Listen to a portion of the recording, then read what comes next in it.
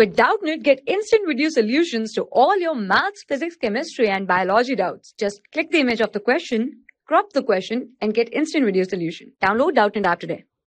Hello everyone. The question is if the sum of LCM and HCF of two number is 1260 and their LCM is 900 more than the HCF then what is the product of the two numbers? Option A 203400, option B 194400, option C 198400 or option D 205400. So in the solution the very first thing is given that the sum of LCM and HCF is 1260. We will let the LCM as X and HCF as Y. Their sum is equals to 1260. Also the LCM that is X is 900 more than the HCF. So 900 plus 5.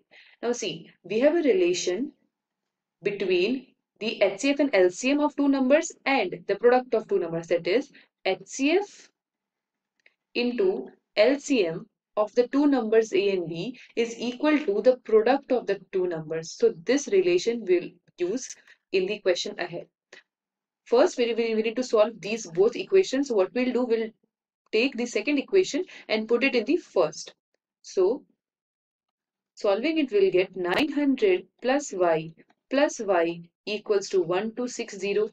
So 2y will be equals to 1260 minus 900. So 1260 minus 900. Therefore, the value of 2y will be equals to,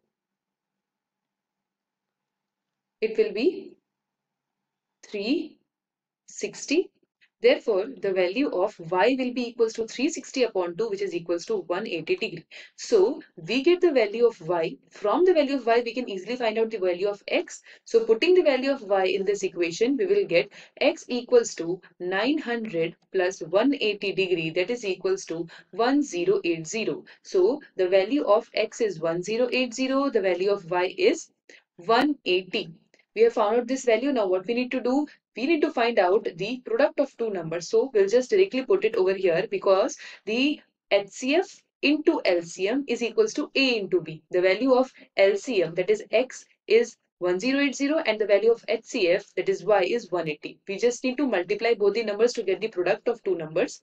Hence, A into B will be equals to HCF that or LCM into HCF. So putting the values 1080 into 180 that will be equals to 194400. Okay, this will be the result. Now I can say that the product of the two numbers A and B is 194400. If I look into the options, then my option number B will be the correct answer. Hence, in this way, we need to solve this question. Thank you. For class 6 to 12, IIT JEE and NEET level. Trusted by more than 5 crore students. Download Doubtnut app today.